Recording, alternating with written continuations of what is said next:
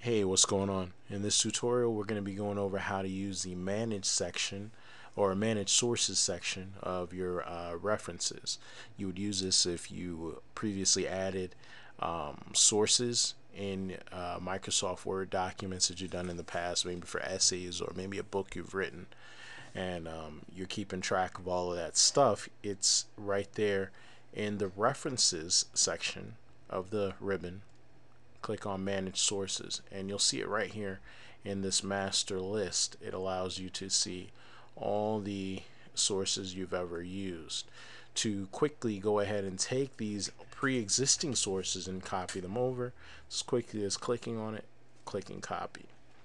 Over here to the left you'll see your current list. Now you can take these that you have over here you can move them out by clicking on it and delete if you don't if you no longer need that in the document.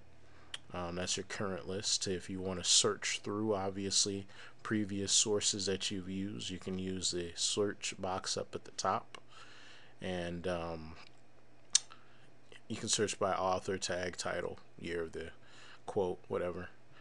And also too if you need to add one you can add one back here in the back office section here. Um, to edit one is very simple. Maybe you made a mistake in the last way that you um, added it as a source or you need to update it.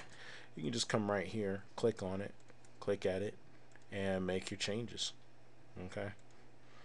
And now you see over here in the current list we have one, two, three sources that we want to add to this document. So we keep those there. We click close. And but as you see, of course, there's no uh, sources that were you know populated. So what we need to do is once you picked your sources from the manage sources section you can just click on bibliography right there.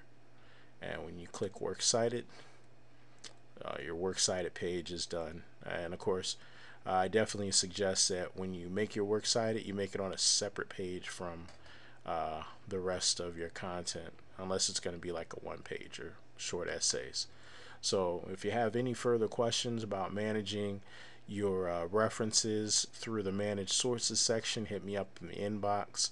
Um, there's other tutorials that I did already on how to just quickly add them using the insert option. And um, so if you have anything else, let me know. Otherwise, thanks for viewing, and don't forget to subscribe to my channel. Have a great day.